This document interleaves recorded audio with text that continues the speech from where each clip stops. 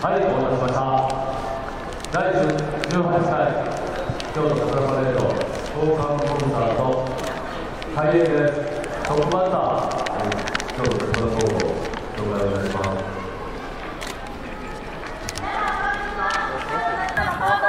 吹奏楽部です。私たちは現在部員56人で元気いっぱい笑顔いっぱい夢いっぱいをモットーに毎日活動しています。